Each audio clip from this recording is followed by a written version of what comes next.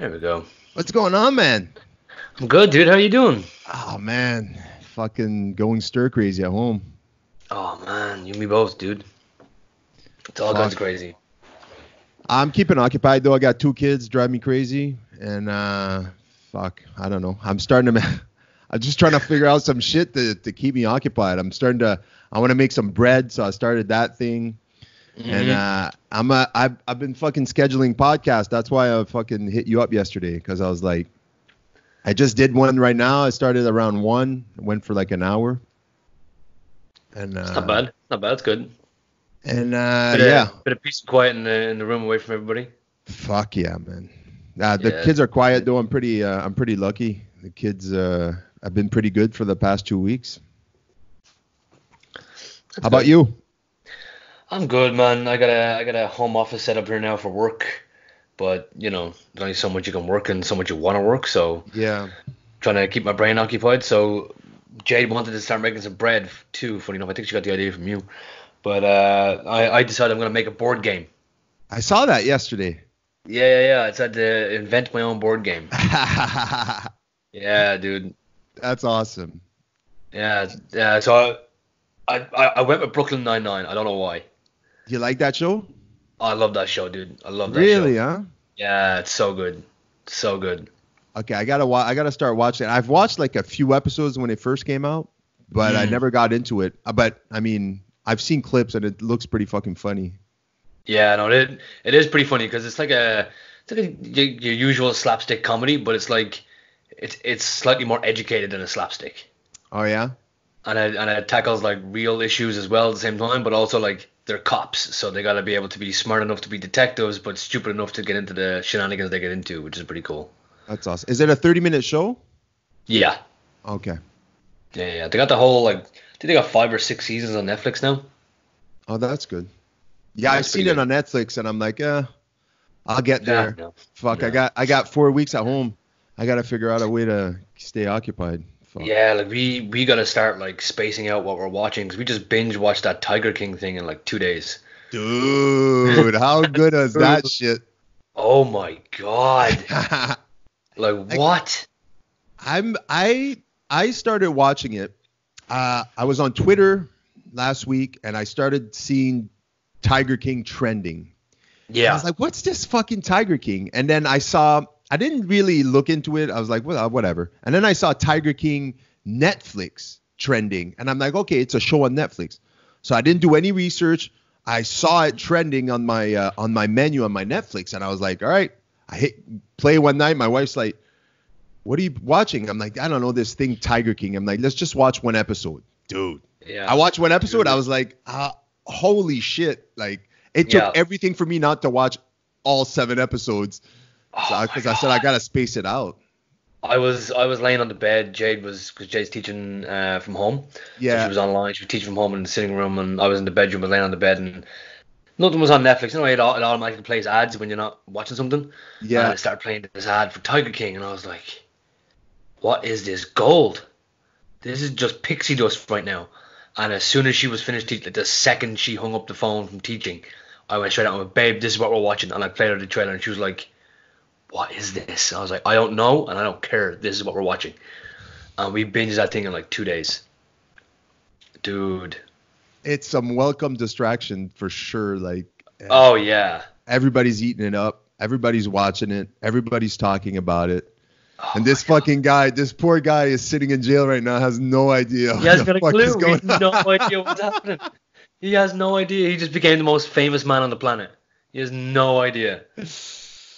Oh, what a fuck, yo! But the way these fucking people live, man. Yo, dude. What what was your take on it? Like who? Um, like did you see well- the guy in a back line all of it? Here's, uh, look. At the end of the day, uh, I felt bad for Joe Exotic.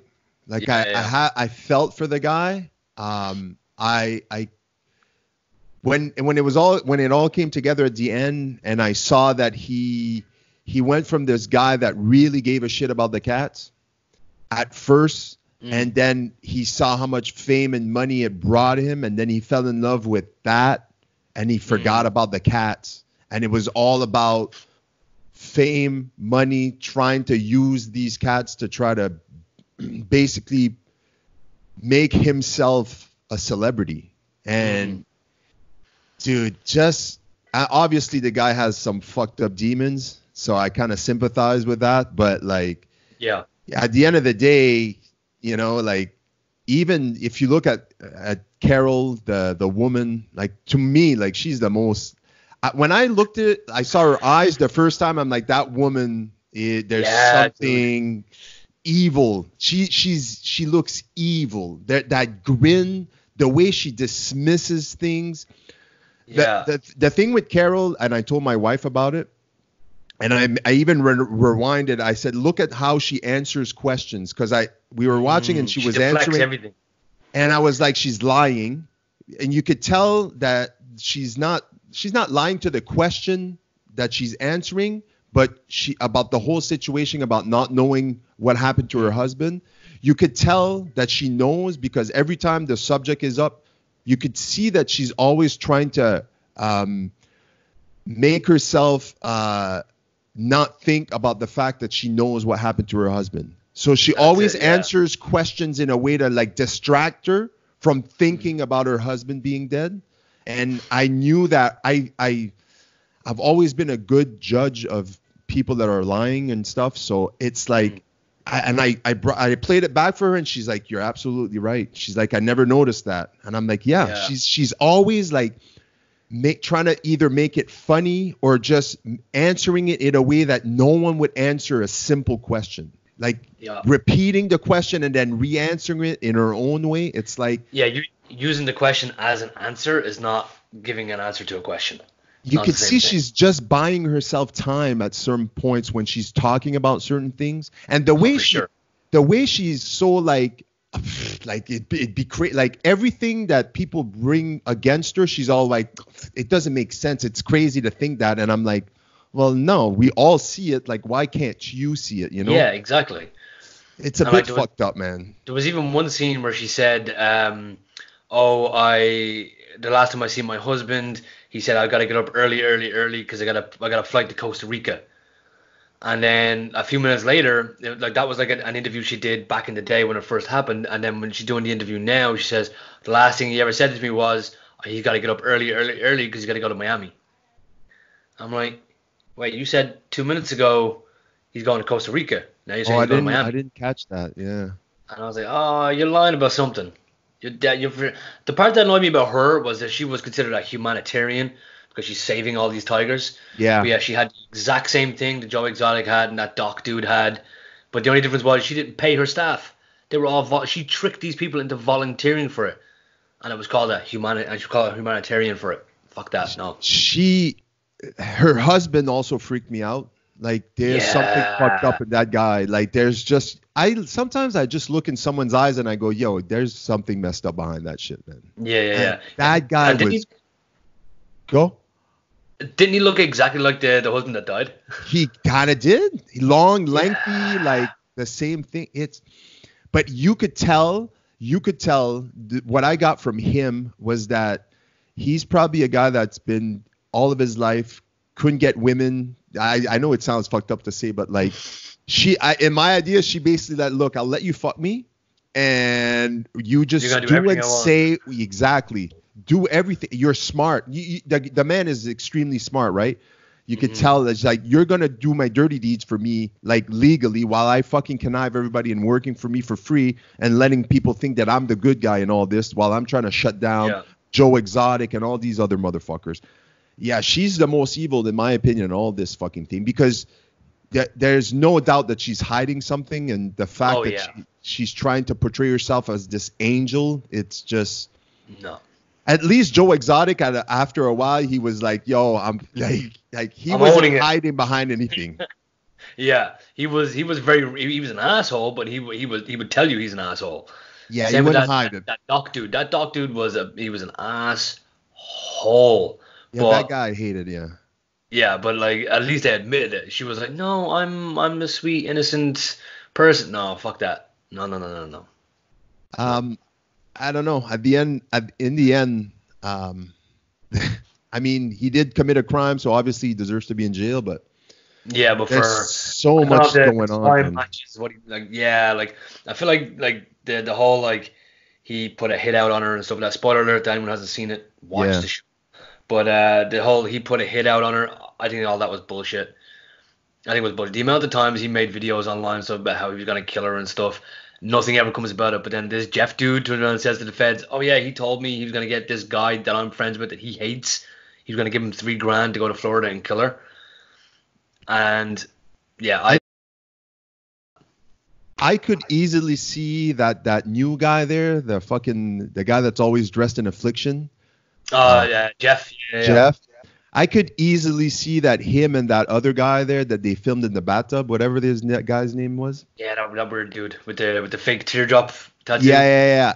Yeah. I could easily see Jeff wanting to take that zoo away from from Joe and and basically him and the other guy just saying like just say that he paid you and uh, or he said that he was going to pay you to kill that and that and then in the end he didn't even go through with it, right? It was kind of Yeah. like he chickened out, he didn't even right? go to Florida. Yeah. Basically he's in jail right now for the animal thing. He's not in jail for the The thing. Uh, if that all led to it though, right? Like if, if if they hadn't got him in jail for that thing, they wouldn't have got the warrants for the for animal all thing. stuff. That's right, yeah. Yeah, yeah. So, but I mean, at the end of the day, like he, he makes a statement in it, which, you know, I'm probably gonna be an asshole for saying it, but I kind of understand it. It's well, he killed like four or five or six tigers or something like that. But like he made a statement in it saying like, well, the tiger was sick, so you're either gonna trank it or you're gonna put a bullet in its head. Yeah. And you know, I understand that if you have a horse and the horse breaks its leg, you got a racehorse and, and the racehorse breaks its leg, they take it up behind the barn, they shoot it in the head. Yeah. I mean, it's pretty much documented they do that to horse because they, they're no good for anything, you know, after a while. Exactly. Exactly. So if you got a dying, sick tiger, you know, and you're gonna have to put it down, okay, you're gonna put it down. So that's And- essentially what he's being killed, or like what he's in prison for. It. But it's just it's phrased. I'm phrasing it in a nice way. They're phrasing it in a bad way. And also, you have to think, I, I, I spoke about it on the podcast I recorded earlier with my friend, and I said uh, it's a lot cheaper to put a bullet in their head than to euthanize them the right way. That Yeah. that thing they use to euthanize. I mean, I've been in a, a in a vet. I've worked in a veterinarian clinic when I was young, and that it's not cheap. It's expensive. Mm. Yeah. And for those big cats, bigger animals, they need bigger amounts. And in my opinion, it's just like the the bullet is cheaper. One bullet behind the head, and that's it. You know. That's it. And he and he was already shelling out a quarter of a million to fight Carole, so he couldn't afford that. He's euthanize an animal. But even that other guy there, Doc Mantle, whatever the fuck that guy's name is, like he oh, pretty Oh, much yeah. said, or people pretty much know that once once he can't get any use of the small cats and they're adults after a year, they fucking they get rid of them. yeah, he, he he incinerated them or some shit. He, He, burnt them or something. yeah, I think I think that he euthanizes them and then he cremates them after. Yeah. I mean, I mean that's it took me a few episodes to understand the business of big cats.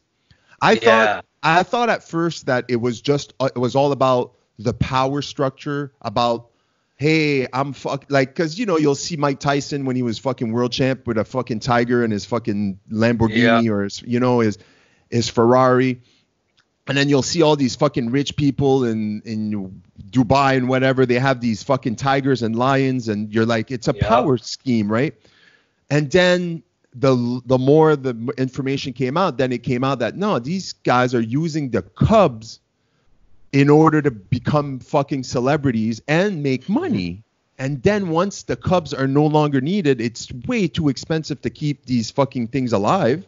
So they That's just it. kill them. So so once I kind of figured out that business and a few episodes in, then the, the whole sympathy for uh, for Joe Exotic kind of went down after a while. Uh, Yeah. is- even for the other people, you know, I, I at the end of the day, I don't really agree with what they do, but like, dude, No. they have they have fuck they, they live in the United States and they have tigers. Like, just how there's more tigers in the state of Texas that there is in the whole wild. You know what I mean? Like, Yeah. it's uh, so there's more tigers in the United States in captivity than there are in the whole wild. Like just wild. that fucking statement blows my fucking mind. So, so and it, and it, no, go on, go, go. no, no, no, no. That that's it. That's my point. Yeah. No, like, like, like, there, there was one, there was one guy on, like, on the, on the show, and I can't remember how he said it, but the, like I, I'll give Netflix their credit. They know how to make a documentary. They know how to how to piece together and edit shots so that you feel every kind of way about each person Yeah. and the and the whole situation. They're very good at it. And there was a moment where you're like, oh yeah, oh my god, there's something like ten thousand tigers in captivity in America, but it's only four thousand in the wild, and you're like, oh, that's fucking horrible. That's terrible. But then this old guy comes on and he says, well, we're breeding these animals in, you know, we have these these private zoos. We're looking after these tigers. We're breeding them. The ones in the wild are dying. Who do you think is going to be the saving grace of the of the, the race of tigers? Yeah. It's the ones that have it in captivity who are breeding more of them. And I was like, oh shit, that's also true. If we want to keep these tigers on the planet, if they're dying in the wild by themselves, then yeah, we need to breed more of them. Yeah. Which makes make sense, but it's, right? it's a horrible way of doing it though. Yeah, because in the in the in the process of just keeping this uh, species uh, thriving, you're using them to make uh, to, make make, money. money. like huge amounts of money, and then you kind of use them as a thing because you can discard them when you don't need them anymore, right? That's it. It needs to be like it needs to be a ba- like a like, like a balance of both. As in, like if I got twenty tigers or thirty tigers and I'm gonna breed them, I I should be allowed to breed them provided that they're cared for and they're looked after, and I don't make money. Like I make money off of breeding them and helping the species, but I don't make money off of people petting them and mauling them and fucking bringing one in a suitcase to Vegas so people can take pictures of it in a hotel room. like at the, at the end of the day there was a scene in the whole thing that i will never forget. And it's in the first uh, it's not in the first it's the first or second episode i forget. They they're showing this footage of this family eh, that's sitting down to take a picture. It's got it's got two kids uh, uh, mom and dad. And behind them just above them is this big giant fucking tiger with one Yeah. person holding this leash. And in my head, I'm like, if this tiger decided to be a tiger right now, he would go for the fucking smallest child because he knows like that's the weakest of all these four right here. And there was a mm-hmm. young child there, and I was like, oh, it, it made me sweat because I'm like, there's zero, number one, I told my wife, I said, of all these fucked up characters there, Joe Exotic, uh, Doc, and uh, that crazy woman. Mm. If I, if you convince me one day to go, okay, we're gonna go to this fucking safari place. They have tigers. You get to pet them, and I'll be like, okay, let's fucking check it out. We're on vacation. Let's check it out. If I walk into a place and I meet a man like Joe Exotic or a man like Doc or or a, a woman like that, I would look into their eyes and I would go, awesome, and I would turn around and I would like I would never trust my family around an, an environment that these people are in charge of ever ever because in my Uh, I could smell the crazy off, especially like Joe Exotic. If this motherfucker he came at me with his this gun. I'm like, I'm done. No, no, no. He he he wore his crazy like a different hat. Like, Yeah. he was he was so far out there. But he how crazy are the people to want to put their three and four year olds on front of a full grown tiger and say go play? That's fucked How up, man. how how stupid must you be to do that?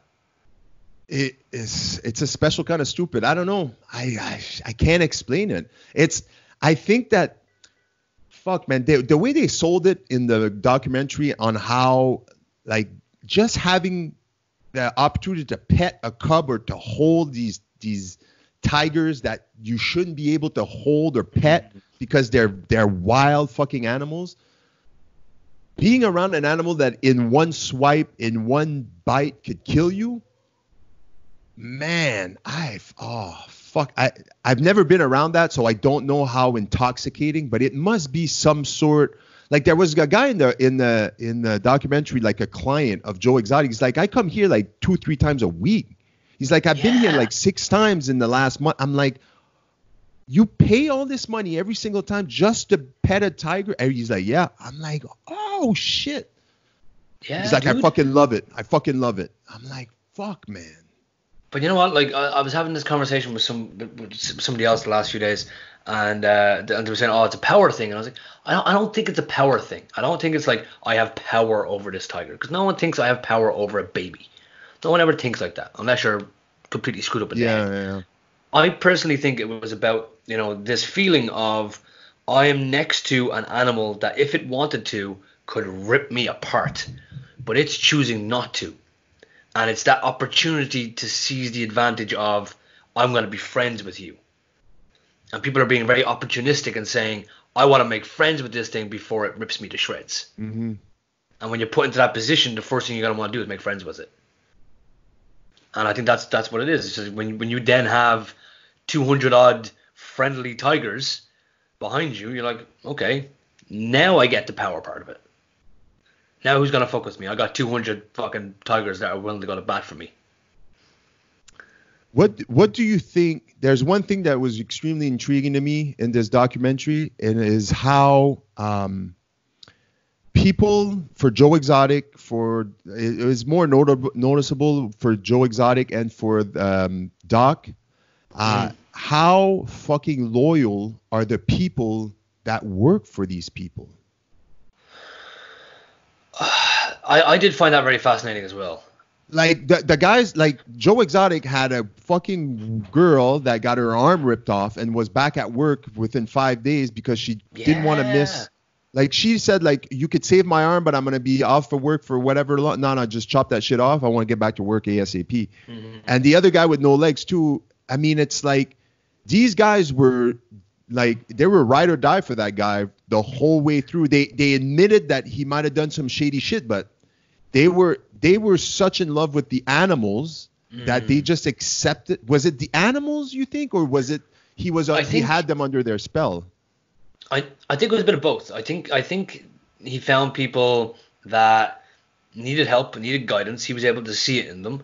He found people who were down and out, and he was like, "I'll take a chance on you. I'll pay you every week. I'll give you a place to stay. I'll give you a job, and you get to do something that nobody else gets to do, and that's play with grown ass and baby tigers. You know, you get to this is what you get to do for a living that nobody else gets to do, which then gives them a sense of a social status that they wouldn't normally get. Then when they get to start doing it on a regular basis, they fall in love with the animals. And then now it now it's become so it's gone from now I get a bit of social status, I get a bit of help, I get a weekly wage, I get a place to live. It's gone from that hold on them to now it has a this is the guy that gave me all that, but now I love all these animals now as well, and I have a responsibility for these animals. And this is the guy that allows me to take care of these animals. So in a way, it's it's it's master manipulation to a point, like master manipulation.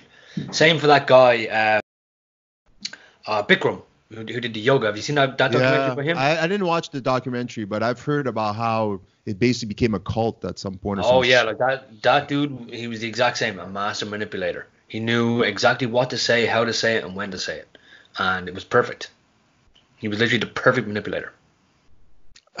it's I see the point of view of these people because I'm like if if Joe if if, if some of these people really love those big cats so Mm. and they'll do anything and that they'll take any opportunity to be able to work around those cats right Mhm. and they'll be willing to give up a lot of their freedom or a lot of their I wouldn't say freedom but you know what I mean like they, they'll be like yeah that guy can manipulate me I don't give a fuck he he gives me my drugs you know like a lot Yeah. of it he got two straight men that weren't obviously not gay to marry him just because he was supplying their habits you know what I mean Mm-hmm. That's it.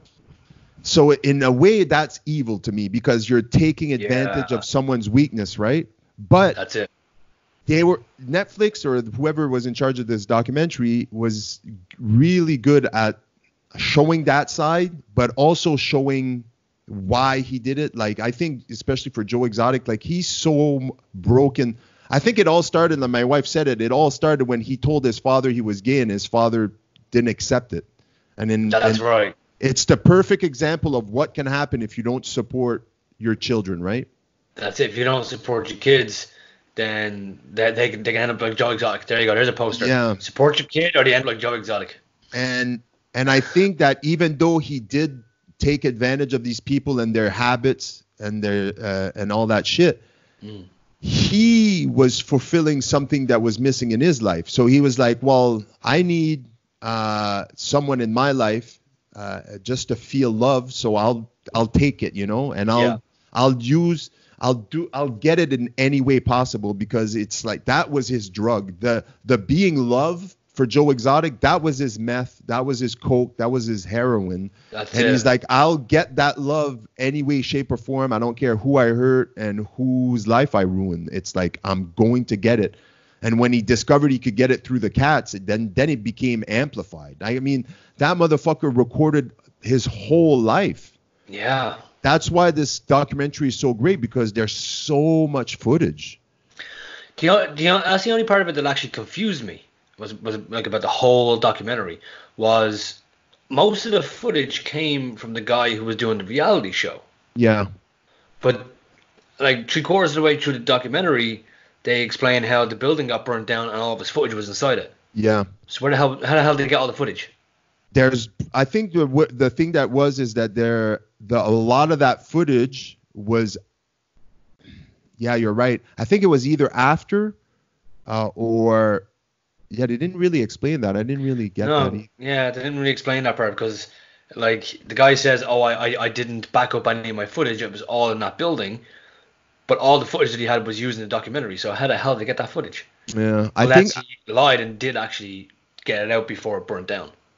well I think that's what they kind of insinuated and they didn't want to say it I think there's a lot of things they insinuate in the documentary uh, that they know to be true but they can't say it legally And I think he did say like at the end that because you know I, you remember at one point he he's secretly videotaping a conversation uh, in right, the, yeah. in the in the his lawyer's office and his lawyer's like well you know what to do right And he's like oh yeah I get it and it he got that he needed to burn down the building like Joe Exotic burned down the building but Yeah. himself just to get rid of the evidence and all the footage because he understood that none of that footage was his That's it. he, did, and he didn't realize when he signed that he was signing over basically everything that was being recorded. Mhm. And once he realized that, he's like, "Oh wait, I can't get any money off of this. Like if shit goes hits the fan and these guys decide to cut the plug, they get access to all this footage and I can't have anything." Mm-hmm. So I think after that, he was like, he he smartened up, right? And he smartened Oh, up yeah, in an got- evil way, right? He got he got real smart real quick, and he was like, okay, I'm gonna go back to my hillbilly ways, and I'm gonna burn the place down. Yeah. That was it. It's uh, ah man, it's fucked up, but it is what it is, I guess. Fuck. Hey, that's what happens when you have a mullet. You're in Bushbuck, Oklahoma. You know, you're you're gun toting, doing meth all the time, and you got 200 tigers by like by your side. You're gonna do some crazy shit. dude you could tell that guy was like just itching to pull that gun out of his fucking holster to kill somebody Oh yeah, he was dying to do it, wasn't he? like Dying he- to do it. You could tell he's the type of guy that's super proud to have his guns. Oh yeah, has yeah. no idea how to use them. I saw a shoot a few times. I was like fuck. Like you could barely shoot something here. Yeah, dude. if that guy was ever put in a situation where he really needed to use his gun he, he probably would freak out so much that he couldn't even aim at fucking he couldn't hit a fucking barn. Oh god, no. He was he was like he he he, he pulled a, a pistol out and he, he shot some dummy thinking it was that crazy chick. And Yeah. Like, he, went, he, he, was- he was like this. He went, boom, and I hammered back over. I was like, dude. he did that on camera and posted that on youtube Yeah, man. freedom of speech in America is fucked up because you could basically threaten to kill somebody live on the internet, and then you're like, yeah, man, you could say and do whatever the fuck he wants as long as he doesn't commit a crime. I was like, yeah. It's like we. Was it something uh, the lawyer I think says it? He's like, um, you can have freedom of speech. We only punish you after the act. Yeah, That's fucking terrible. That's terrible. I could say anything about you or anything, and no one could give it. No one can do anything. Oh my god. That's so ridiculous. Well, I suppose if their if their president can do that, then I suppose everyone else should be allowed to do it too. he does it on live TV. Fuck. Yeah. like, that, guy's fuck all kinds of fucked up. I seen a I seen a meme literally about about five minutes before we started this. It was a meme of Donald Trump and uh, the head the head of the health department for the coronavirus or something like that. And the, the the meme was when you say something so stupid that the head of the health department for the coronavirus is touching their face and they're just standing there doing this. Oh yeah, I saw that. I was like, oh my god, this is gold. I I feel like you know like when they voted for Trump and they elected him as their president. Like I'm not American. I have I know I know ob- obviously I know I know some Americans and Mm. it's I, you know what's hard for me is that the fact that we pretty much live on the same plot of land that's just divided by a fucking imaginary line, right? Yeah. Like we are all about like Canada and the United States. We're pretty much around the same age as country wise. Mm. You know, ever since we came, all, everybody came over from England and Europe and everything. Like we, sometimes it hits me real hard how different Americans think and are in comparison to Canadians or or Irish or anybody else. Well, it's it's it's generations of of brainwashing. Generations of, and I'm gonna I'm gonna use the term brainwashing because it is genuinely brainwashing. It's you know we are the greatest country in the world. So God bless everyone and God bless America, and it's you know it's we're, we're the land of the uh, the free and the home of the brave. So you know in saying that statement, it's like oh so every other country is not free or brave and it's it's generations of that being bred into people for however old America is, and now it's like, okay, now now we fully believe it, and now we are we are supposedly the greatest country in the world, and it's not true. It's just not. The uh, uh, the thing that freaks me out is that a lot of people obviously voted for him and he got elected as president and everybody made a stink about it. it the thing that scared me about Donald Trump is there's no in between. Yeah. It's you either hate him, uh, but here's the thing though, you you either hate him as a president, right? You don't necessarily hate you. You'd love him if he was on TV entertaining you right now, but he was just a, a reality TV show host. You know what I mean? Yeah. But he's he's in charge of the fucking whole nation. Now you're like, this is can't this doesn't make any sense. So the thing that freaks me out is that there's two extremes. You either love Donald Trump for the most part, or you fucking despise the fact that he's the president of the United States. Yeah. I think though, I might be wrong. I'm not American, and I don't want to speak out of term, uh, you know, I, I, out of respect, but Yeah. I think that I could easily imagine that there's a lot of Americans that voted for him and supported him that are going right now, fuck, he is not the right man to be in charge right now during this fucking crisis. No, not even a little bit. And I'm not talking about him as a president right now. I'm talking to him about a person that is in charge of making decision to save people's lives. And mm-hmm. he you could easily see that he couldn't give two fucks about your grandfather dying about of the coronavirus. He is genuinely just interested in how are we going to keep our economy the biggest and strongest economy in the world, which they aren't, right? They're not. I no, they're not at all.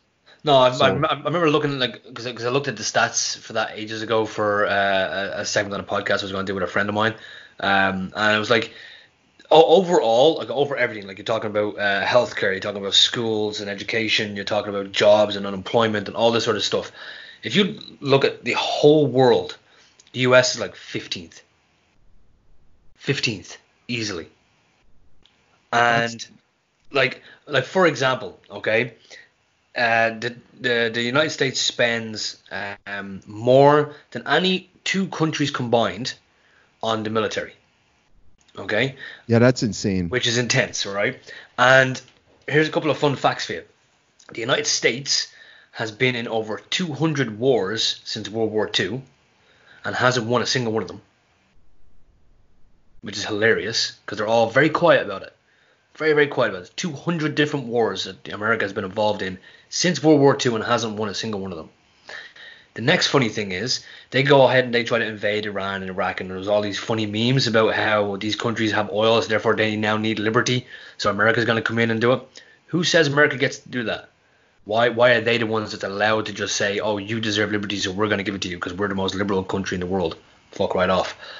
But the the most hilarious part about all this is all all the, the the Americans in like Afghanistan and Iran and things like that, and they're fighting for freedom and they're fighting for you know their country and stuff. How many Americans get killed doing that? Okay, now here's here's the like I found this fact mind blowing and I only, only literally only found out about it last night. There was 51 doctors in Italy who were diagnosed with the coronavirus that died this week. 51 doctors. Okay. That is more than the amount of American soldiers that have died in Afghanistan from aggressive fire from an Afghan in the last three and a half years. Wow. So that means more American soldiers have died in Afghanistan from friendly fire than aggressive fire.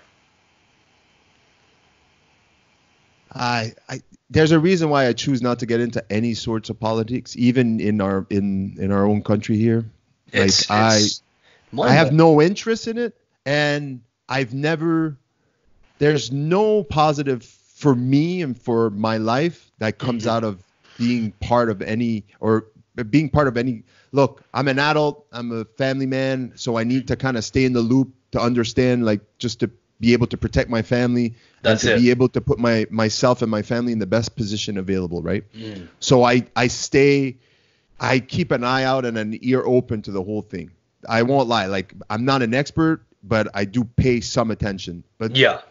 I try to have zero conversation about something that I have zero interest and zero knowledge in. I don't pretend to know anything about this and people have their own opinions and make their own research. I choose not to because it's just not something I I it's it doesn't interest me and I don't want to spend any energy in it, right? Only when it starts I totally get impacting me like super like financially and my and it starts impacting my family where I'm going to start having a voice or at least start doing my research so that I don't speak out of turn, right?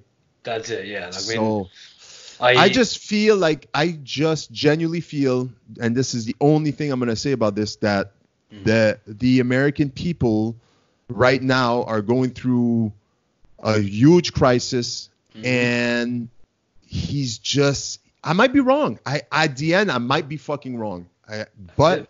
I feel that he's not the man you would want in charge right now at making decisions because in my opinion, it's been proven that he doesn't listen to the people that matter, like the scientists. He's going to make up his own mind about how and what this thing is, and that's the narrative he's going to put forward That's it. for his, and it's always for his own benefits, like not the benefit of the country. That's what that's the point of view I have. I might Yeah. be completely wrong, but when and it might be also how the media portrays him, right? Because that's the mm-hmm. only I'm, I'm not around the man. I'm not there live watching him. I can only see what the media portrays. But we all know it's fucking Donald Trump.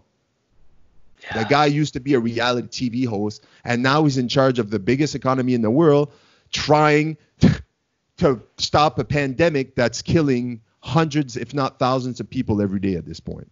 That's and it. it's like he's, He's look here. We're, we're in it. Canada right now. We don't have even remotely close to as many cases as in the states or in Italy and Mhm. stuff, and we're all on fucking lockdown right now.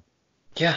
You know what I mean? Because our government, not only federally but provincially, individually, we're like, we're locking down. We're not taking any chances. We need to get ahead of the curve, and they just did it. And they were Yeah. like, fuck. They were. They didn't go fuck the economic, the economy, or fuck the impact that it's gonna have on people not having jobs. They were like, we need to put people's health 100% first That's and it. we'll figure it out as we go. And if people could just understand that people seem to get angry in times like this because they they're like, well, we're not ready for this. Our government doesn't know what to do. Of course they don't fucking know what to do. When's the last time we went through something like this? Never Exactly. Never. net that even the Spanish flu wasn't like this because we live there's way more people now. We live in an age with social media. We live in an age with all these the this shit like it, no one knows what to do. This is uncharted ter- territory, and for everybody, including the people in, in charge. So after a while, even if you're not a liberal, even if you're not conservative, even if you're not into politics, you have to. I said it in a few episodes ago in my podcast. I said, I, in my opinion, right now they're all doing the best they can with what Mhm. They're given, with what they have, with the information. At least our government is willing to listen to the smart people, the the Yeah. doctors and the scientists, and go according to their information. That's it. we can't ask for anything more right now. We can't be like, well, what about my fucking paycheck? Well, what about your health right now and the fact that we're trying to keep you alive? Well, th- but that's the thing. Like, like, I feel like, like, because I'm not big on, I'm not big on politics. I'm not big on religion. I don't like to talk about the two of those. But I, I love information. I, I, I'll go on an information spree and I'll like, I'll find one piece of information and then I have to do all my research on it. And then Yeah. I happen to remember most of it. Like, it, it tends to get annoying sometimes. It's kind of how I deal with anxiety and stress. Yeah. But that's good. but like the, the the thing that I've noticed about this whole coronavirus, like if, if I'm going to compare Canada because this is where I'm living right now, I'm going to compare Ireland and England because that's where me and, and Jade are from, and then the United States because that's the one that's most publicized right now, and they're all handling it very differently, very very differently, and I feel like the reason why they're all handling it very differently is because they all have different perspectives of what's going on.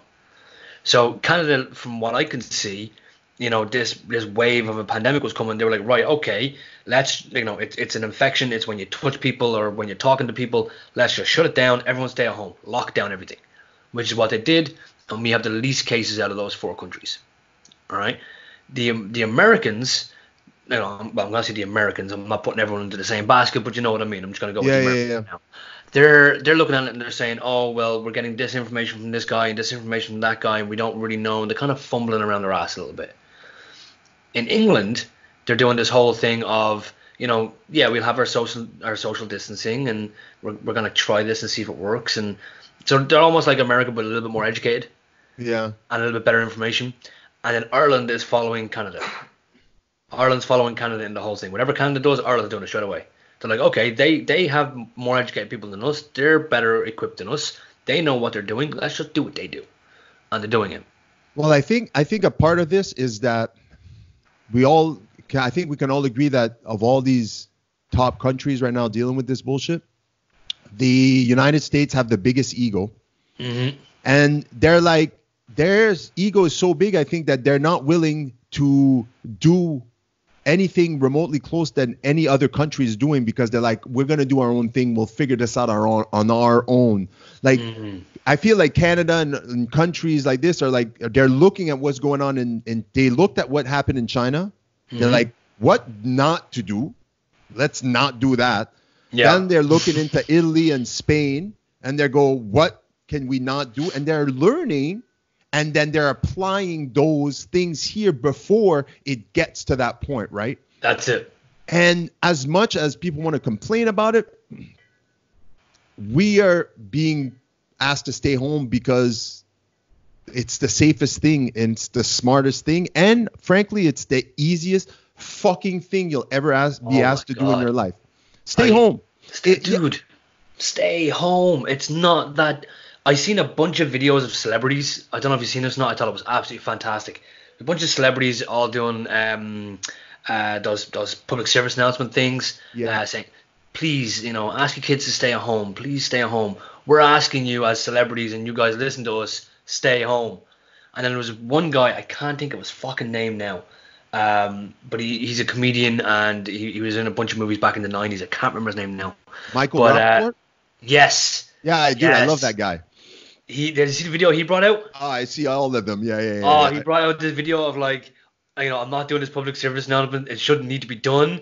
He's like, why do people listen to celebrities and times just? Listen to the doctors. He's like, just stay the fuck at home. If you have to, like, don't ask your kids, will they stay home? You just fucking make them. You're the adult. yeah. Why, why does my five year old get to dictate when they get to leave the house? Stay the fuck at home. If I you see my, like, he actually said, if you see my son outside, drop kick him in the throat. look i told i told my wife this earlier uh, christine. I said i said we have two kids at home and we're in charge right now of these kids. Like my kids haven't gone outside except to go for a walk right? Uh, and they're bored but i we tell them like listen you're not going outside. You're Yeah. just not going outside. And they accepted it and now they're in their own routine and it's perfect but you're right there there's a lot of the thing that scares me is that there's a lot of single parents out there with two three kids that are stuck at home right now and they don't have the resources like me and my wife do you know like we have good jobs and Mm. and look, we don't have many much savings, but and we kind of do live paycheck to paycheck, but we still have some sort of income coming in right now. So where That's you it, know, yeah. and even if it got to the point where we it, it was struggling, like we have we have a support structure, like we have friends, we have family willing to help. You know, there's people that don't have any support. They didn't have it before this, and mm-hmm. now they're out of a job because they have to stay at home with the, their kids. They're single parents, and they're stuck at home sometimes with young kids that for a week if you're at home for two or three weeks with kids you, you're gonna go crazy like i was telling my wife like i Oh, feel yeah. like spoiled because sometimes my kids get on my nerve right now simply by just talking and i'm like like and i'm like i gotta stop because Mm. 95% of the time they're good and i'm just getting upset for the 5% of the time that they're not Yeah. and I'm I like, there's that. people that it's it's the flip. It's like 95% of the time they can't deal with them. Yeah. Because let's be honest, not everybody that has kids are meant to have kids, right? And That's now it. That's that's the thing. now these parents that you know aren't meant to have kids are at home right now with with one child, two, three, four, five, six, and a husband or a boyfriend they can't they can't smell for more than five minutes or deal with. It, you're you're creating chaos, and the the people that are gonna uh, least benefits benefit from that are the kids, right? Because at the end of That's the day, it. these kids are at home and surrounded by all that tension and all that stress and all that anxiety, and Mm. it's it can't be any good. So I, I kind of like realized that uh, the most important thing from being at home right now is uh, making sure that this is the least uh, the least impactful negatively for my kids. Mm. Like they they're going to come out of this, and it's it's up to me and my wife to dictate how they're going to come out of this. That's with a positive outcome outlook mm-hmm. on it or a negative outlook on it. And that's our job and it's our responsibility. And not That's- everybody has that outlook right? That's that's exactly it, dude. And I, I feel like when all this is all said and done and dust is settled, people are gonna realize two things, two very important things in life. All right, each individual person is gonna be able to evaluate their own life and decide if they're happy or not. Because like you said, you might have two kids and a husband that you're not really happy with. You're about to very quickly learn that you don't like your husband. yeah what and what you're gonna do about it, or your kids and what you're gonna do about it. You're gonna very quickly learn that, and you need to get your shit together. So that's so th- this whole situation is gonna show a lot of people that side of them that they didn't really know because they were distracted by work or their hobbies or going outside. Now they're forced to be in this situation and have to chew on it and deal with it, which is gonna be a good thing in the long run. The other thing that people are gonna very quickly realize is things could always be worse. I, I, I say that to people all the time. Things can always be, no matter how bad it is, things can always be worse. And my go-to example was milk could have pulp. That's how that's how much worse things could be. Milk it'd be could have pulp in it. disgusting Exactly, it'd be fucking horrible. You'd never be able to have a cup of coffee ever again with milk in it. fuck But- that shit. oh fuck you Yeah, now, you- now i yeah. can't have milk anyway Yeah, th- yeah, dude, it's, it's nasty. But but when I say things could always be worse, right? People are saying, oh, I, I don't have my paycheck, or you know, uh, I, I'm struggling, like you know, I'm struggling with this situation, or I'm struggling with that situation. I was like, yeah, but imagine trying to struggle with all those situations and have coronavirus. yeah Like there's a you there's a wouldn't give a shit anymore about your paycheck if you caught if you got sick to the point where you needed to be in the hospital Yeah, because your paycheck's not going to cover it. It's not going to be enough. You know what I'm saying? Like, uh, there's a friend of mine uh, back in Ireland, and he put it up on Facebook today that he has tested positive for coronavirus, and he was in a room in a hospital, and he spoke. He didn't speak to a single person. He wasn't allowed in contact with absolutely anybody. He had to stay in this room for two weeks on his own. They left food at the door. It was almost like a um, solitary confinement for a prison. yeah And I asked the way he explained it, and he said the the noise of the old man in the next room coughing was the only human interaction he had for two weeks. wow That's all he had. And then they, they said he's doing he's doing okay physically, but a little bit mentally. He said he was a bit, he's feeling a bit down. But they let let him go home. They said like, you know, here's your medication and stuff. We're gonna send you to go home. Isolate yourself at home. Stay at home. Don't go outside. Now he's at home, and he's, he's, he's he has his phone. He's able to go on his computer. He's able to do a few projects and stuff. And it's the little things now that he's really enjoying. It's the little things. Being able to, all those books he never wanted to read because he was, nah, no, I couldn't be arsed doing it. No, I'll do it later. He's he's plowing through book after book after book now. You know, because it's the little things that you don't realize that you want to do, or little things that you don't appreciate. Now you're gonna fucking appreciate them. And I feel like that's gonna happen for everybody now. Well, I told my wife, I said, I think that uh, a lot of people are going to realize what is really important.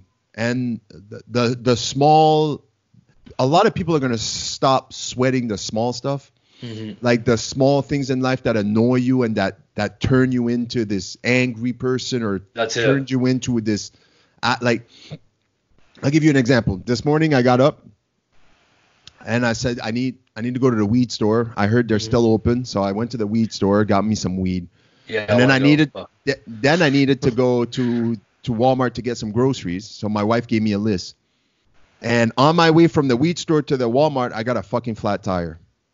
No. And normally normally you get a flat tire, it's a piss off. You're like, fuck Yeah. my life, right? It's the first thing comes to mind. hmm and I just stopped. I I was like, "Huh, whatever. I put the spare tire on. It took me 10 minutes. I put the other tire in my back. I went to Walmart. I finished my groceries, and I didn't stress out about it because I was like, this is not the time that I need to overreact for a fucking flat tire that I cannot control. And I think a lot of people um, always stress themselves and create this anxiety because I'm like that over Mhm. things they, they can't control. They they get anxious over things they can't control. That's And- it. and this is a perfect example. Like I've been dealing with a lot of anxiety since the beginning of this, uh, but the every day it's like I try to reprogram myself. Like, dude, whatever happens, Mhm. whatever happens in an hour, whatever happens in tomorrow, whatever happens in a week, you have zero control over it. All you can control is your environment and make sure you maximize, you minimize your chance of either getting sick or getting other people sick. That's It's it. the only pe- thing you can control right now. And I think people aren't willing to let go of that control because they feel like they're by by by being at home and and just listening to everybody else, they feel that they don't have the control. They don't feel they feel like someone else is controlling them because they're being Yeah. asked to do something they don't want to do. And they are Yeah. like, "Well, I'm not sick." And I'm like, "It's it's so selfish." It is. It's really selfish, and like the, the the way I look at it is like like like Jade even said to me. Hi. uh, Jade even said she's just walked to get a jumper. Uh, she said to me the other day. She said, like, you know, as long as we do the best that we can for ourselves here in our house to make sure that we're clean and the doors are clean and we're we're we're washing our hands and being vigilant and stuff. As long as we know we're doing everything we can, everything we can, and if we still get it, we know we did everything we could. Like after a point, like you can't worry so much. Like That's it. and I understand it's hard for people. Trust me, because I I went through it and I go through it on a daily basis. Not Mhm. just for this, but even before this. This it's a constant battle. So That's it. I, and that's why I kind of put out that podcast a couple of episodes ago because I think that's an extremely important thing to realize is that a lot of people right now that deal with mental health are at home right now and that a lot of their distractions have been taken away from them. A lot of people that deal with a lot of men that deal with anxiety, they default Mhm. to sports as their distraction. There's no That's it. sports right now. No. And if you're if you can't have your daily distraction or your daily dose of something that makes you happy, man, you're gonna spiral out of control. And that's why it's important to try to in these times you're stuck at home, you're like, you gotta find something else That's to it. occupy your time, learn something new, do something else that you've never done before. Create a board and- game. Yeah, do that.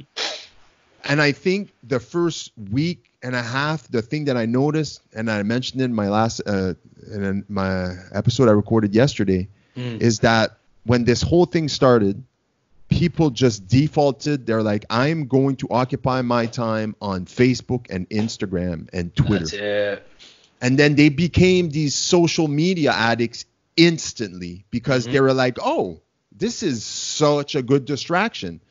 And it is. And if that's your only way to get distracted and then or to be happy or to not stress yourself over this whole thing while Yeah. you're at home, go for it. Let yourself free. Do the videos. Show people who you fuck you really are because that's Yeah. another thing this is going to show a lot of people is that th- it's going to show the character in a lot of people because Oh yeah, definitely. there's a lot of people right now that I don't hear or see or talk about on social media. And I'm like, why are you so quiet all of a sudden? Well, that's it. Like I, I actually put a post. I, I don't use Facebook a lot. I, I just don't. I, I, feel like Facebook annoys me.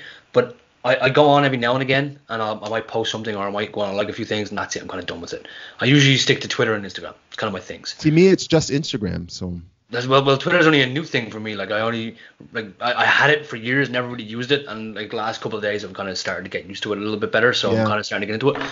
But I went onto Facebook the other day, and I was reading through a couple of, of, of like comments and pages and stuff, and I was like, whoa, people are actually showing their personalities. And I put a post up and I said, what is it that's going on that everyone is now all of a sudden has a great personality on Facebook? What like what's after happening? And I actually got a couple of messages from people saying, "Hey, like you taking shots at somebody?" I was like, "Yeah, I'm taking shots at the whole fucking world because everyone claims to be the, you know the best version. I- I'm being the best version of me, and you know I'm I'm, be, I'm being the best me I can be, and all this. sort- And everyone's you know not doing fucking shit. yeah, Now now everyone's giving you know free spin classes on on social media. Everyone's giving free workouts on social media. Not they're not charging for it. where was this before? Where was this five, four five weeks before? ago, you were right? asking for sixty bucks for this. Yeah. Know what I'm saying? No. Now everyone's like, no, no, no. I'm gonna, I'm gonna be the nice person now, and I'm gonna give it to you for free. Well, I think so, certain people see an opportunity, and I spoke with that with Christine yesterday. Mm. I a lot of people, and I, even me, like I don't see the opportunity in in uh, in uh, profiting or anything from from this situation. But what I told her is that I need to take advantage of the fact that I'm at home. I have nothing else to do. If if other people are also at home with nothing else to do and they want to be on the podcast and I could do it through Skype, why not contact all these people and book as many as possible and record as many as possible and also work on my YouTube content and also work like if th- that was already the plan before this and it was for us, why can I see this as an opportunity to just now I have the time to actually work on it all day every day for four weeks? How much yeah. progress can I make in those four, five, six weeks, however long I'm gonna be at home? I'm not looking to profit out of someone else's misery, but I'm I'm I have to see the positive in this. That, that- like you have to go like, well, this is an opportunity for me. I'm at home. I'm not at work. I I, Mm. I don't lose those eight hours that I'm at work. Use those eight hours, and still do something like you were at work. At work. Still Yeah, input that energy somewhere else. And I, I love doing this. And I'm like, yeah, that's all I'm gonna do. I, I I wrote on my board. I wrote a bunch of names, and I started contacting people. And I'm like, I'm just gonna. People want to come on by Skype. They can come on by Skype. Let's it's it. easy and it works. And I'm like, That's so dude. I saw an opportunity, but I think a lot of people are seeing an opportunity. Like, how can I profit from this? That's it. That's it. How can I make money from this? How can I get a million followers by off? Oh, I'll offer free spin class. So when people are back on their feet, I can go back to offering 60. But now instead of having 30,000 followers, now I have 1.2 million followers. That's it. right? Look, as a business person, the part, the business mind out of me goes Mm. fucking genius. Oh yeah, but totally. but there's a part of me that also goes like from the beginning your goal was never to just be a nice person and give it up for free or it was but also in the back of your mind you're like later on this is going to this is going to pay itself back That's it. Right? Like, the, like don't get me wrong. There's people out there um, that are doing things online, which is really really cool. Like like there's a there's a friend of mine who does teach spin, and like no, normally her class is like forty five dollars a class, and she's doing she brought a bike home and she's doing classes online live with people, and she's doing it for free. But she is saying if you feel like donating, yeah. That you know what? That's fine because you've still got a business to run and you're asking for donations. I get that. That's totally fine. But when you're saying i'm going to give you this class for free and i'm the great person because i'm giving it to you, to you for free it's like well why weren't you giving it to me for free six weeks ago? Tell your friends how great I am because I offer this great service for you for free. And a lot it. of people are ex- they're secretly expecting that. mm-hmm. Uh, I think that right now, considering we're stuck at home, it creates opportunities for people. It there's a demand Mm-hmm. for certain things, and right now, training, online training, offering different programs online where people can just join. Like, I mean, what Jade is doing with the yoga, I mean, it's Yeah. fantastic because you kind of foster. You know, it's done in a way where you're just trying to foster a community of people and like-minded people, That's so it. that we can all share a daily distraction and stay healthy and do our workouts and do all that shit, right? But not everybody thinks like that, right? But at the end of the day, this situation, this pandemic creates a demand for things done through fucking this kind of shit, through online, That's through it. being able to work from home. And if this is going to give the opportunity for a lot of people to discover that they actually have a talent that they can actually work from home Mm-hmm. and create content or cr- create a service that people are going to be willing to pay for and you could just do from the the comfort of your own home then fuck yeah man do it i mean why yeah. not right it's That's the it. future and like one of the first thing i posted uh, when this whole thing started is that i feel there's a part of me that feels like there's i feel i there's a part of me that believes we live in a fucking simulation Oh yeah, I'm with And, you on uh. I'm with you with that. I feel like the simulation just either figured out a way to uh, expedite the uh, full immersion into technology by making us stay at home, or the it either figured that out or it either went you motherfuckers are getting there too fast. You guys need That's to it. slow it down. It can't be either or. It, it can't be in the middle. I think it's one or the other. It's That's it. either you're going to full fully immerse yourself into social media, then that leads to either is it going to be a positive or in a negative way? Mm-hmm. And then you could branch out into these different venues, but you either choose to fully immerse or even immerse yourself even more than you are now, or you could choose the the path of fuck this, uh, I'm going to fully disconnect and slow everything down and realize that by slowing everything down, I, I don't feel like I'm aging as fast. I don't feel like Yeah. I'm losing my time. I'm not I don't feel like I'm wasting a lot of my life on nonsense. A lot of people are going to quickly realize that dude, I can't keep stressing myself out over money. I went through this. They're going to go through this. And at the end, when everything is okay and their kids are okay and their parents are okay and everybody's okay, they're going to go, yeah, I lost money. Yeah, it was a struggle. But, But look, alive. we made it. alive. Where our life is starting to re come back to normal. So, like, okay, I can go through this. And it, I think it's going to teach a lot of people, like, I'm tougher than I actually thought I was. And then it's going to be a positive benefit down the road. And uh, that's all I can hope for.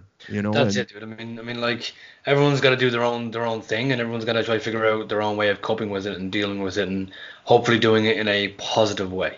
Like for me, like I think I've left like I leave the house once a day. I leave I leave the house once a day, and that's to walk the dog. Yeah.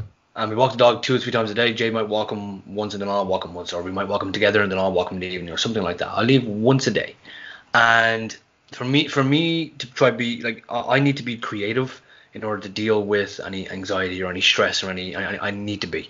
So hence me, I'm building a board game. You know, I'm. Yeah. I'm I'm cooking more. I'm you know doing all sorts of weird. I'm designing wrestling gear. I'm playing like different video games so I can learn how. Like I'm designing cars. I'm designing all these. I I like to play with little things, and do, doing things like that helps me focus and kind of narrow in and block out any negativity and things like that. But it also helps me slow down because I can't rush any of these things.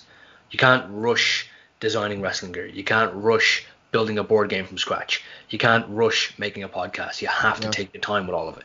And I feel like that has helped me to slow down quite a bit throughout the whole thing and process everything and deal with everything at the same time. But not everyone's able to do it that way, unfortunately. Everyone has to, because we're in a world of instant gratification, right? And now all of a sudden Yeah. that instant gratification is now gone. And I fully, I fully agree with you. I fully believe we, we are probably in some sort of weird ass simulation, and they're saying, "Hey, this is our way of saying now we're gonna have a, a natural selection. Let's see who lives." Or they're saying, "Slow down, stop. Yeah. This is this is like you know you need you guys need to stop what you're doing, take a couple of steps back, smell the roses, and now you can move on to the next level." Yeah. It I I tend to go in that direction because for me that's what seems to be happening in my life right now Mm. is that it's putting everything in perspective. yes, I had a plan and a, a, a, a, end goal for my life and for my family, Mm. and this kind of this kind of fucks things up. If I if I if I let it, it would fuck things up. I, but I don't want it to be fucked up, and I don't want it to be slowed down any either way. And it doesn't have to be, even in this situation. So I'm just trying to stay the course as much as possible. yeah. Right? Sorry. But How dare you? How dare you cough oh, into Oh. I coughed it. But there's there's a part of me that also goes you're going to at the end of this you're going to eliminate a lot of things out of your life that just add added this extra pressure that you just didn't need Yeah. and it's going to make things a lot easier to bear and i have a feeling that at the end of this my anxiety is going to be a lot less worse because i it's kind of like i was in the fire for the first two weeks where it was like anxiety all day every day, and Mhm. now it's like getting better every day you know as as Good. things get back to normal right like uh, i'm not saying back to normal but this is becoming the new normal you know what i mean Yeah, The yeah, yeah. not being able to leave this is you don't think about it as much as you did the first week you're like fuck and they this is only mondays like like i asked my wife yesterday i'm like what day of the week are we like i truly like are we thursday are we friday she's like we're What day? friday i'm like "I- What- it's like What day we in? We're in Saturday. Saturday today. Yeah, I See, don't know. like it's what day like because you don't it's weird because you remove that part of your life work that basically forced you to know what day it is That's it. when you stay at home, you have no need to know what date is Because everything is open seven days a week anyway, so you don't need to know what day it is, right? You're like, That's it. what day are we? Like when you're at home, just staying at home, you don't need to know what time it is because you don't have to get up at any time. Like there are certain things that don't become a necessity anymore. Me knowing the day of the week is not really a necessity right now because every day is get up, stay home, keep yourself occupied, go back to bed. You know? That's it. It's, like, wake up, do something, go back to bed. Wake up, do something, go back. Like, and, and the, fun, the funny thing is, I uh, since I've, I've been staying at home, I've actually been napping less. Like I, I, I am a person who likes to nap. I do like to Yeah. nap every now and again. But since all this has been going on, I actually have been napping less because, yeah, like like I'm I'm I'm occupying myself so much that I'm forgetting to. Yeah. Plus, you're doing, you're occupying yourself by with things that you actually enjoy doing. That's it. and it doesn't mentally drain you and then physically drain you exactly. like one of the things that i'm gonna that i didn't impose the first couple of weeks because number one the anxiety was too much and i was just trying to cope and trying to Mm. center myself into like okay where is this all going but now that i'm like this is gonna be at least for another three four weeks or whatever how long this fucking thing's gonna be like i need to get myself in the, in a routine now like so every day it's going to be like i need to work but I, I can't go to my work work but i need to do something use my personal projects that i used to work on the side now that's my job and every day i Mm. need to put hours Yeah. into that because i need to stay productive and i'm Yeah. productive in something that i actually love doing and that i would do for free and i get to do for free now and i don't lose eight hours uh go to, to go make you know to go collect a paycheck basically and That's it. It's like it's like like on a normal on a normal day to day basis, you got to go work for somebody else, do their work for them in order to make money to pay for things, and then when you want to do the things you want to enjoy, you haven't got the energy or you haven't got the time or you haven't got the, the mindset for it. My turn. And and then like you know you know if you want to go to the gym, let's say after an eight hour shift, you get to go to the gym, then you got to to drive there to drive home. By the time you get home now it's 9 p.m. You gotta have dinner. You gotta eat. You gotta get, you gotta get that sustenance in after the workout. Now you're talking 10:30 after you cooked and eaten. In your case, your kids gotta go to bed. You gotta look after the kids as well. Where's the time for the project? You gotta be up at 7 a.m. to go to work. yeah You I mean, it's it's very difficult. And when you're a wrestler, then you go, well, I'll work at it on the weekends, but then you wrestle on Saturday. wrestle, You, yeah. you know me, like I, it doesn't matter if I only wrestle at seven, and even if it's local, like I'm, I'm zero productive on wrestling days because all Oh, I yeah. think about is wrestling, right? That's it. Like I'm, I have it on my I'm, mind. I'm already planning. I'm, I'm planning them from the night before straight away. I've You been, it's- for me, it was like Thursday afternoon to Friday, Saturday till I had my match. It was Mm-hmm. all, it was basically 80% of my thoughts when I'm not talking. It's like oh yeah, I have a wrestling match on Saturday. Where am I going with this? What's my plan? How am I going to do this? Who's my opponent? You know, Yeah.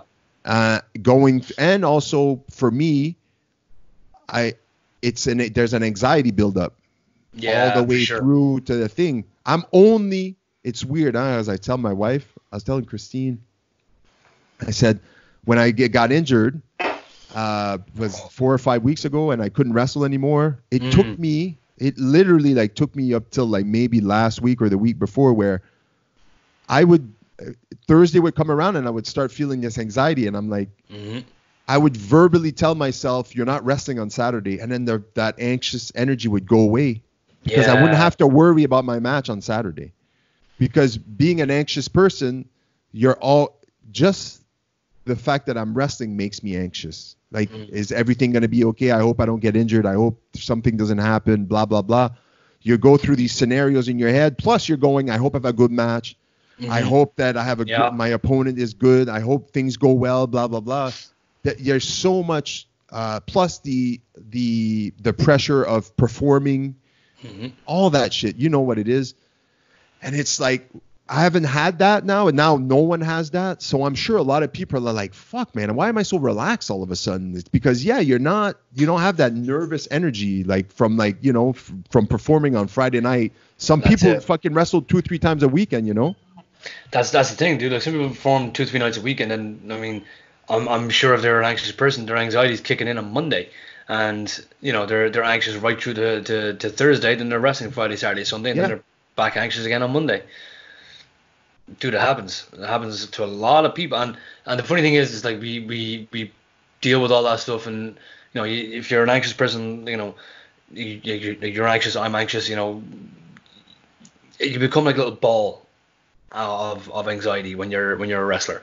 And you, when you're doing it like you come up with different reasons as to why you're doing it. I'm doing this to provide for my family. I'm doing this because i love it. And you keep trying to remember all this stuff to help unwind that ball. And it was funny because somebody i think it was john morrisell had a had a post up on facebook the other day. I don't know if you've seen it but he said uh, I've calculated uh, all, all the money um, from wrestling that I would have you know that, that I would have gotten if I had had shows over the time of the quarantine, and it looks like I've saved two hundred and fourteen dollars. Especially as an independent wrestler, right? especially as an independent wrestler, it's like, yo, I'm doing I'm doing this for no money, and you know, and, and and then when you when you sit back and you stop for a minute and you're like, okay, now now is the point when I need to realize. I'm like, I'm, if I'm going to keep wrestling, because we haven't been able to do it for a little while now because of because of what's going on. Yeah. So, if, if you're not able to do it, and then you, you realize all the all the anxiety is leaving you, all the tension is leaving you, all the stress is leaving you from it, and you're like, now is the time you got to say to yourself, is it worth it? Is it worth it? is it worth it? Do I want to step back into feeling like a ball of anxiety, or do I want to step back into into feeling like I'm a nervous wreck the whole time? Mm. Is it is it now worth me doing that? And it's okay to admit it because a lot of people will never admit that because they'll be like, well, that means you just never really liked wrestling and you didn't love it enough to just go through all the bullshit and just push through and become Yeah. as great as you could be. I think that for someone like me and you, that we have we have lives outside of wrestling. Not Mhm. saying that guys don't, but there's certain guys that their, their whole identity is being a pro wrestler That's it. And that's okay. If like I, I was talking to this early on on an earlier podcast that i recorded this morning we were talking about jon jones.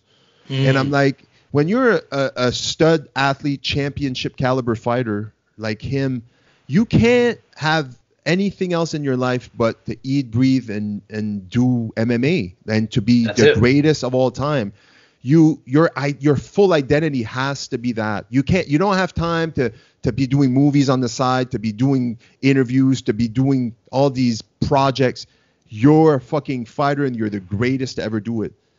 Once these fucking guys don't have that anymore it's not a it's not a, a, a possibility anymore either by retirement injury whatever the case may be Mhm. they they become lost because they have no idea who they are as a person because they never took the time to search out who they really are outside of being a mixed martial artist. And I think Well, that's, that's extremely dangerous for athletes and it's extremely dangerous for professional wrestlers because I think that the like I don't even know what the percentage is, but what's the percentage of professional wrestlers that end up making a living a long run living out of just professional wrestling.